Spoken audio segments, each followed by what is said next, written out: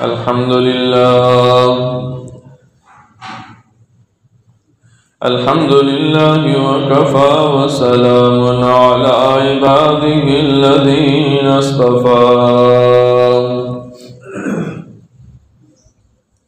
خصوصا على سيد الرسل وخاتم الأنبياء. وعلى آله وأصحابه نجوم الهدى وقادة التقى. أما بعد فقد قال الله تبارك وتعالى في الكلام المجيد والفرقان الحميد. أعوذ بالله من الشيطان الرجيم. بسم الله الرحمن الرحيم. شهد الله أنه لا إله إلا هو والملائكة والملائكة وأولو العلم قائما بالقسط. لا إله إلا هو العزيز الحكيم. صدق الله العظيم. اللهم صل على محمد وعلى آل محمد. كما صليت على إبراهيم وعلى آل إبراهيم إنك حميد مجيد.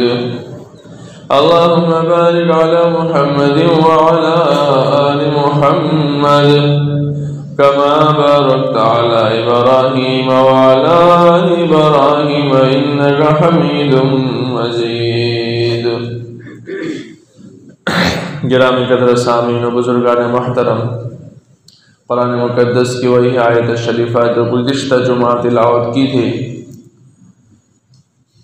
ان کی روشنی میں اور قرآن کریم کی ایک بہت ہی محتم شان عظیم الشان آیت شریف آیت الکرسی، اور اسی کے ساتھ دیگر آیات توحید الہیہ کی روشنی میں اہم عقیدہ، جس کو عقیدہ توحید کہتے ہیں جیسا کہ گزشتہ ہم نے اس پر بات کی تھی، اس کو آگے بڑھانے کی کوشش کرتے ہیں۔ اللہ تبارک و تعالیٰ سے دعا ہے، مجھے صحیح صحیح باتیں بیان کرنے کی۔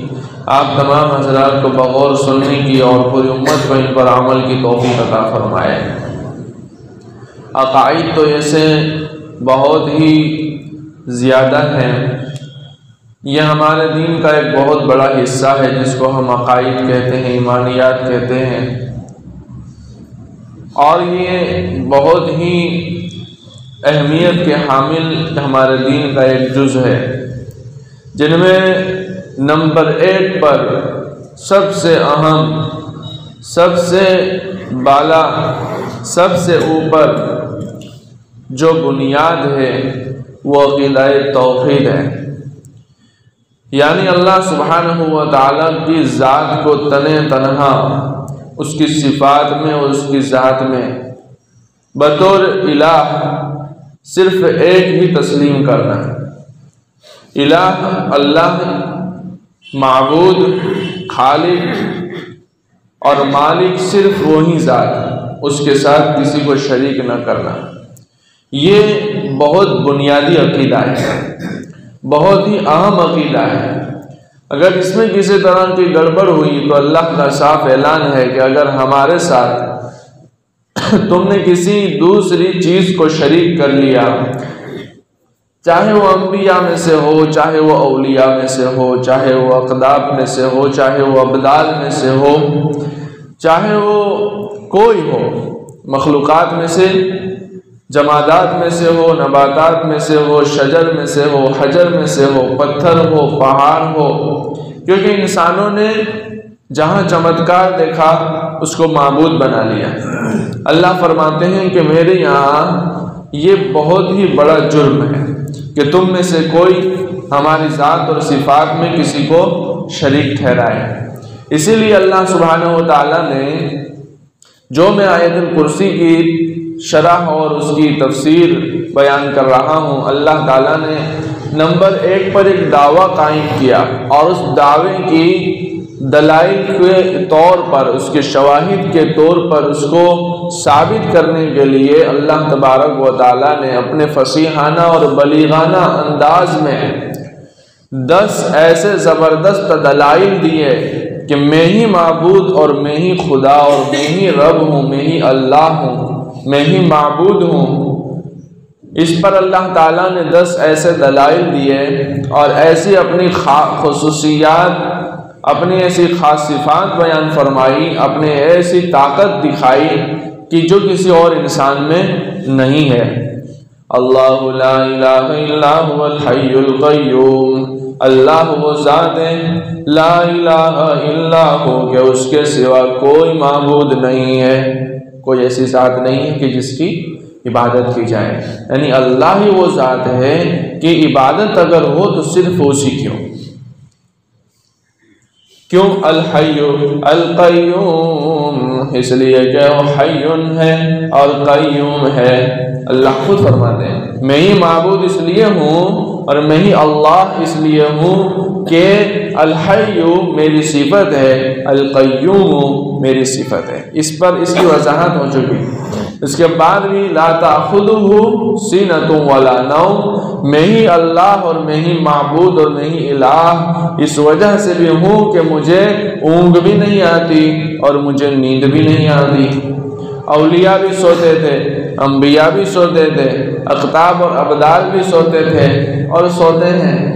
جو سوئے، اس کو سونے کی ضرورت ہو، وہ بھلا اس وقت کیسے انسانوں کی حاجت روائی، اس کی مشکل گشائی کر سکتا ہے۔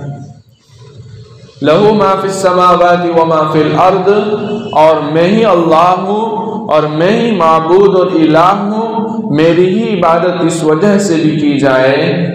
لہو ما فی السماوات و ما فی الارض، جو کچھ بھی آسمانوں میں ہے اور جو کچھ بھی زمین میں ہے سب پر میری ملکیت ہے۔ سب کا مالک صرف اور صرف میں ہوں۔ اللہ لا الہ الا ہو الحی القیوم، لا تاخذه سنة ولا نوم۔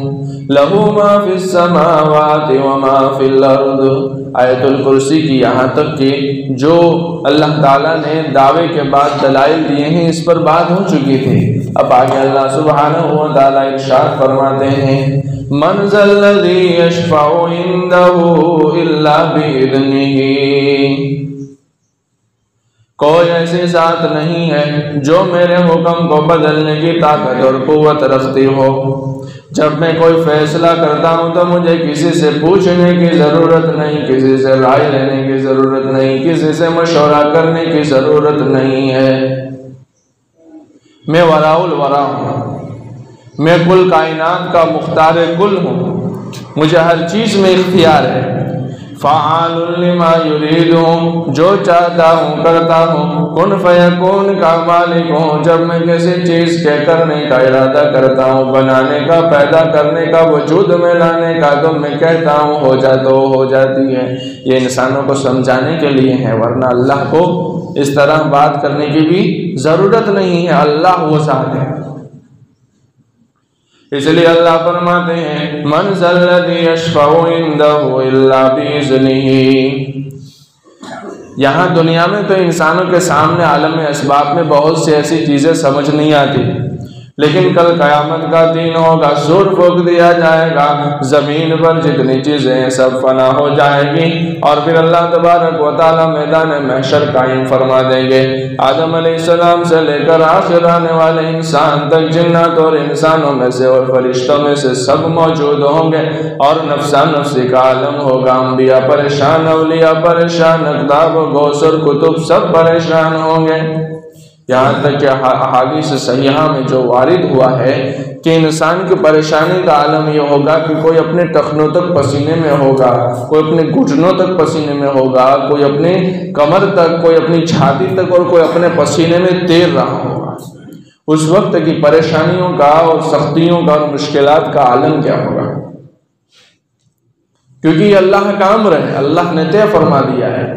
اللہ انسانوں کو بتا دیں گے۔ متکبریوں کو بتا دیں گے، جابروں اور ظالموں کو بتا دیں گے کہ کیا ہے وہ؟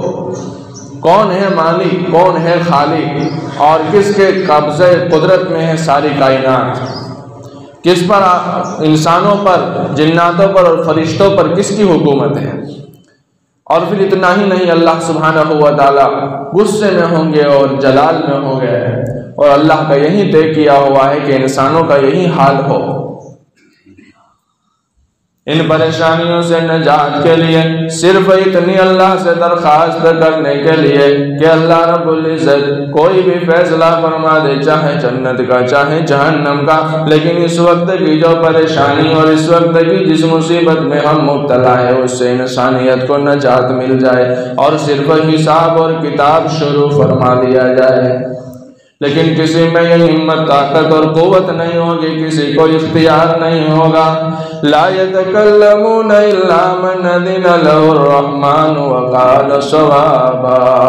وہاں کوئی بات کرنے کی طاقت اور قوت نہیں رکھتا ہوگا، مادر ذات برہنہ ہوں گے جیسے ماں کے پیٹ سے پیدا ہوتے ہیں، بغیر کپڑے کے ہوتے ہیں، ہر انسان اسی حالت میں ہوگا۔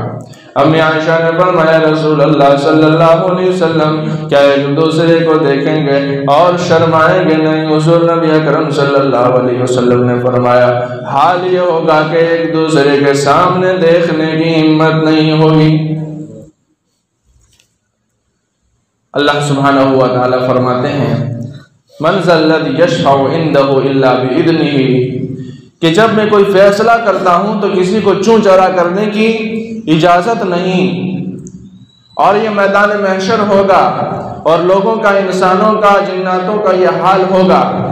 اس حال میں بھی کسی کو بولنے کی اجازت نہیں ہوگی۔ ہاں میرا ایک خاص بندہ ہوگا جس کو میں نے آپ کو نبی کے طور پر دیا ہے، جس کو آقا کریم حضرت محمد عربی صلی اللہ علیہ وسلم پر کے نام سے جانا جاتا ہے۔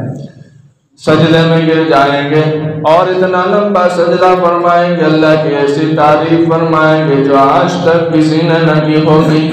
اللہ کی ایسی سی بات کا ذکر فرمائیں گے جو آج تک کسی نے نہ کیا ہوگا۔ اور اتنا لمبا سجدہ، اتنا لمبا سجدہ ہوگا کہ اللہ تبارک و تعالیٰ کو رحم آ جائے گا۔ فرمائیں گے محمد ارفا راسا کا اشفاعت و شفاعت اے محمد، کیا چاہتے ہو؟ سر اٹھا لو۔ اب سجدہ بہت لمبا ہو چکا ہے۔ اب میرے غصے اور جلال کو تیرے سجدے نے کچھ ٹھنڈا کر دیا ہے۔ کیا چاہتے ہو؟ سفارش چاہتے ہو؟ شفاعت چاہتے ہو؟ شفاعت کرو۔ سفارش کرو۔ تمہاری سفارش قبول کی جائے گی۔ تو یہ حال ہے اللہ تبارک و تعالیٰ کی ذات الوحیت کا۔ اس کا مقام اور مرتبہ اور اس کی طاقت اور قوت یہ ہے کہ اس میں انبیاء کے سردار بھی بولنے کی ہمت نہیں کریں گے۔ ہاں یہ ہے کہ وہ سجدے میں گر جائیں گے۔ اور سجدہ ایک ایسی چیز ہے کہ جو اللہ تعالیٰ کے جلال اور غصے کو ٹھنڈا کرے گا اور اس کے نتیجے میں اللہ بولنے کی اور سفارش کرنے کی اجازت دیں گے۔ اللہ فرماتے ہیں، میں ہی لاہور میں ہی معبود اس وجہ سے ہوں۔ کہ میرے سامنے کسی کو بولنے کی کوئی ہمت نہیں ہوگی۔ کوئی میرے سامنے سفارش کرنے کے لیے ہمت نہیں کرے گا۔ اللہ بھی ہی جسے میں اجازت دوں گا تو پھر وہ ہمت کرے گا۔ پھر دوسرے انبیاء سفارش کریں گے، پھر اولیاء سفارش کریں گے، پھر علماء سفارش کریں گے، پھر اہل تقوی سفارش کریں گے، پھر اہل قرآن، حفاظ اس کے سینے میں اللہ نے قرآن دیا ہے، وہ سفارش کریں گے، لیکن اللہ کی اجازت کے بعد۔ تو اللہ فرماتے ہیں، اب تو سمجھ میں آیا کہ نہیں آیا کہ میں ہی معبود اور میں ہی الہ ہوں، میں ہی خدا ہوں، میرے سوا اور کوئی نہیں جس کی پوجا کی جائے، جس کی عبادت کی جائے۔ اور میں ہی الہ اور میں ہی معبود اس وجہ سے ہوں. یعلم ما بین ایدیہم وما خلفہم. یعلم ما بین ایدیہم وما خلفہم. انسانوں کی اس کی علم میں جو چیزیں ہیں، اس کے سامنے جو حالات ہیں، وہ بھی میں جانتا ہوں. اور جو اس کے پیچھے ہیں، جو جانتے نہیں ہیں، وہ سارے حالات بھی انسانوں کے میں جانتا ہوں. جب میں ایسی طاقت اور قوت والا ہوں ایسا علم والا ہوں، تو کیوں کر میں خدا نہ ہوں؟ تو کیوں کر مجھے معبود بنایا جائے اور مجھے مجھے معبود مانا جائے اور صرف مجھے ہی مانا جائے؟ ایسی ایسی کون اور شخصیت ہے جو کہ انسانوں کے اگلے حالات بھی جانتے ہو اور پچھلے حالات بھی جانتے ہو کوئی دنیا میں ایسا نہیں ہے۔ صرف میں ہوں۔ یا اور دوسری تفصیل کے مطابق یعلم ما بین ایدیہم وما خلفہم۔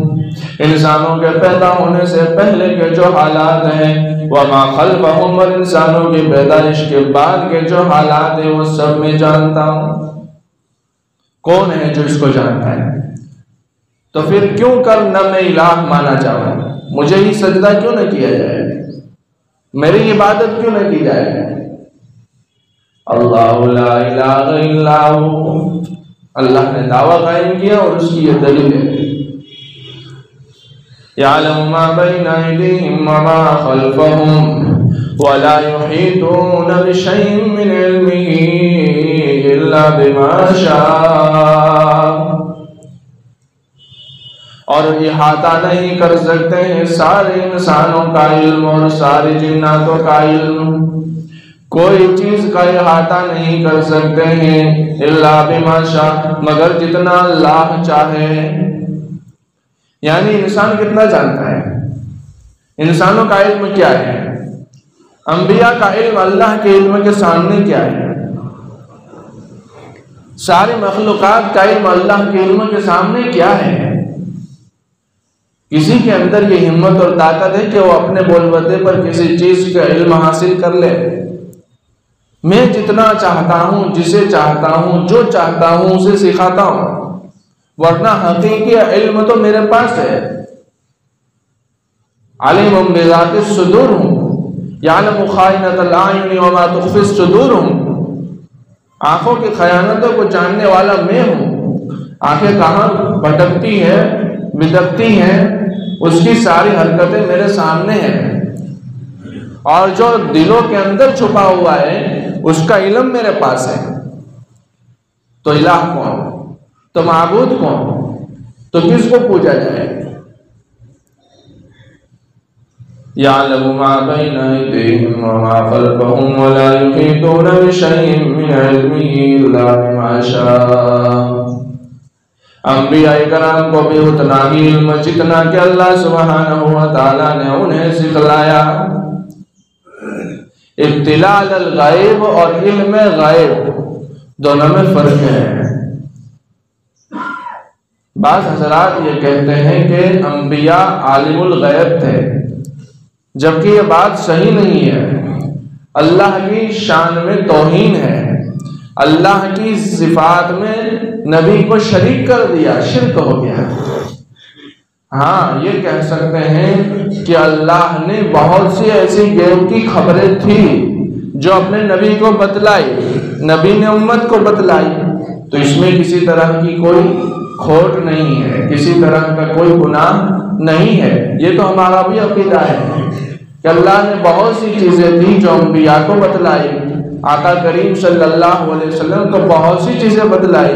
اللہ بہت سی چیزیں اپنے نیک لوگوں کو بتلا دیتا ہے۔ اپنے دوستوں کو بتلا دیتا ہے، جس کو کشف کہتے ہیں۔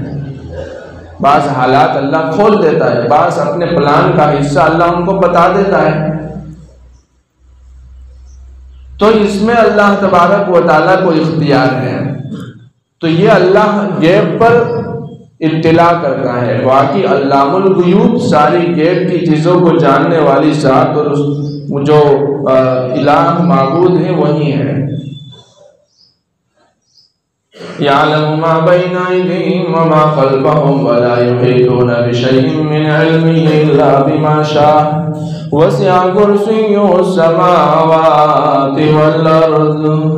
اور آسمان اور زمین اس کی کرسی کے اندر سما جائے، اس کی کرسی کی وسعت یہ ہے۔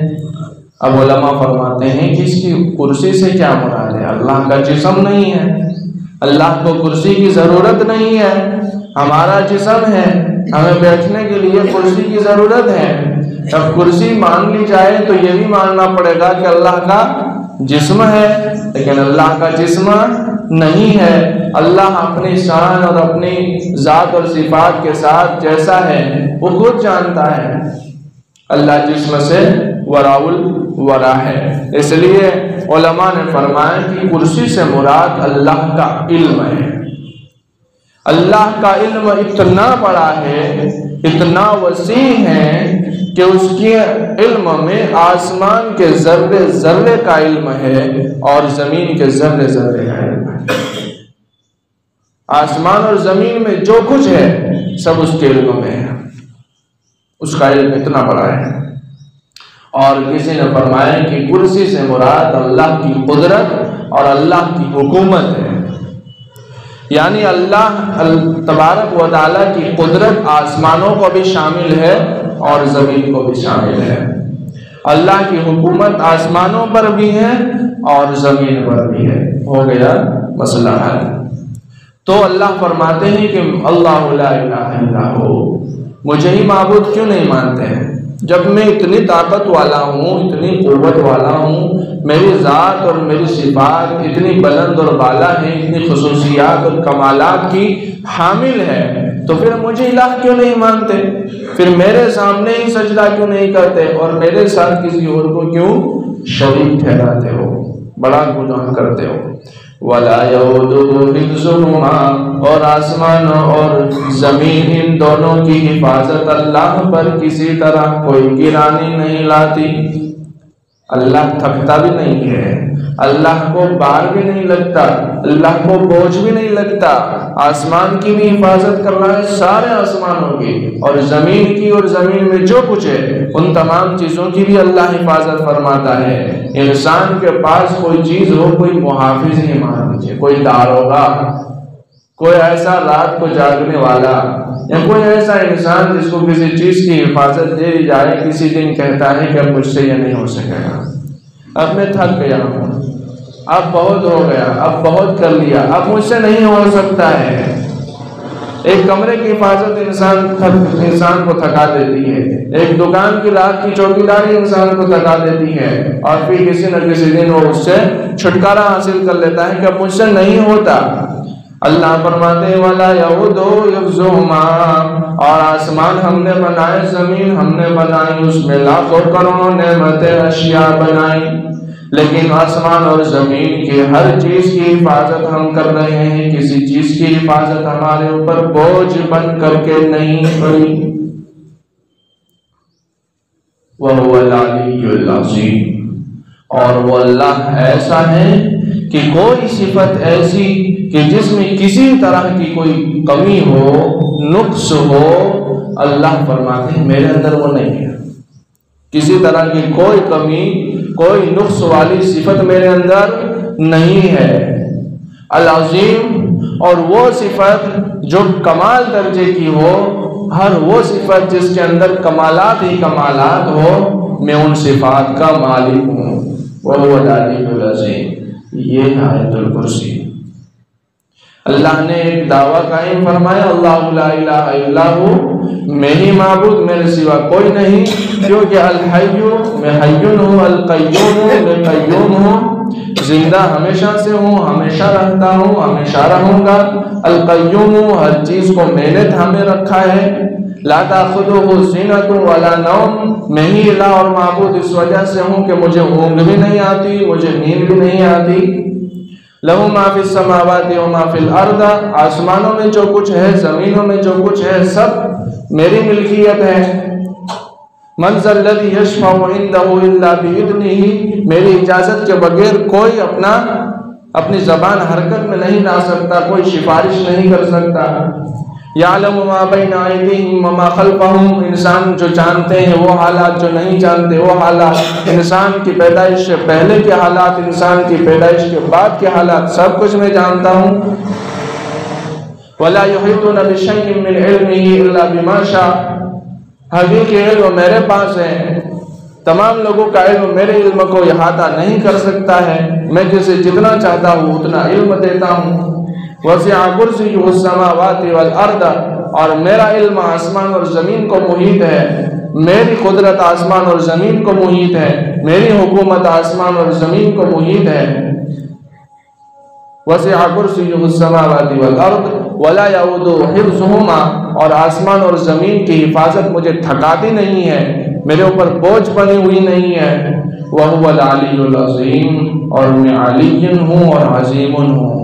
میرے اندر کوئی کمی والی صفت نہیں ہے، اور کوئی صفت ایسی جس میں کمال ہو، میرے اندر نہ ہو، ایسا بھی نہیں ہے۔ اس لیے میں الہ ہوں اس لیے میں الہ ہوں، اس لیے میں الہ ہوں، میں معبود ہوں، میں پوجنیہ ہوں۔ میری ہی عبادت کی جائے میرے سے اور کوئی شریک نہیں۔ اللہ تبارک و تعالیٰ ہم سب کو صحیح سمجھ عطا فرمائے، عقیدہ توحید کو صحیح سمجھنے کی توفیق عطا فرمائے۔ اور درست رکھنے کی توفیق عطا فرمائے اسی طرح یہ خرابی ہمارے عقیدہ توحید میں ہے تو اللہ تبارک و تعالیٰ اس سے دور فرمائے اور آئندہ کے لیے حفاظت فرمائے۔ اللہ ساری انسانیت کو عقیدہ توحید سمجھنے کی توفیق عطا فرمائے اور اسماعیل کے لگدانی کی توفیق عطا فرمائے اور اسی پر جینا مرنا نصیب فرمائے۔ آخر دعوانا الحمدللہ رب العالمین۔ وصلی اللہ تعالی علی خیر خلقی محمد و اجمعین۔